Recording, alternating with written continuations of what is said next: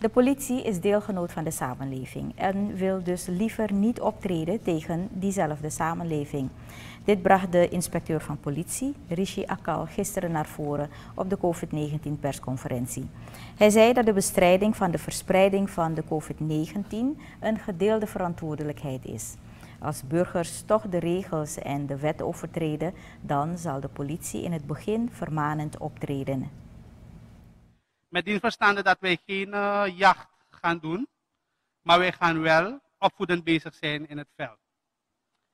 Natuurlijk, als er sprake is van recidive en een enorme openbare uh, orde schending, dan begrijpt u wel dat de politie ertoe over zal moeten gaan om betrokkenen over te brengen naar het politiebureau en andere maatregelen te treffen, binnen wet en recht natuurlijk.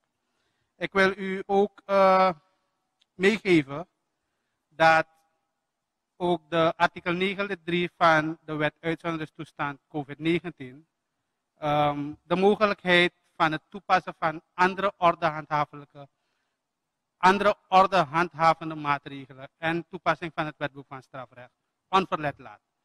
Dus kortom, wij zullen vermanend optreden, opvoedend optreden. Wij vragen de samenleving om ons daarbij te ondersteunen.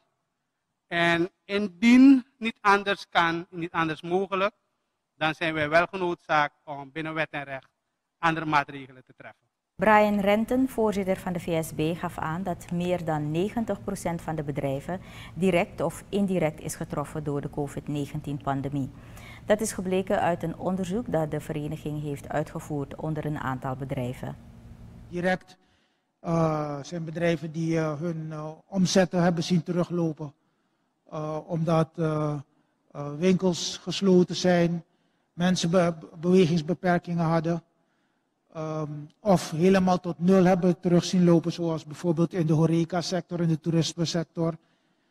En de bedrijven die indirect getroffen zijn, omdat ze speciale maatregelen hebben moeten nemen om besmettingen op de werkvloer te voorkomen ter bescherming van hun werknemers en hun klanten.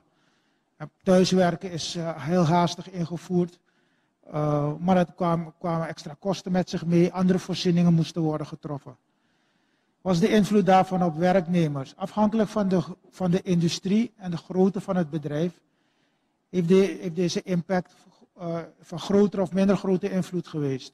Je kunt voorstellen dat in de toerisme-industrie, horeca, casinowezen, waar die voor langere tijd gesloten zijn geweest, we he hebben gezien dat contracten niet zijn verlengd, um, parttimers hun banen hebben verloren en mogelijk ook uh, mensen in vaste dienst.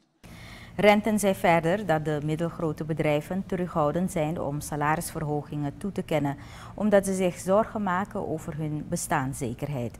Renten is blij dat met de afgekondigde maatregelen zoveel als mogelijk wordt geprobeerd om het sluiten van bedrijven te voorkomen.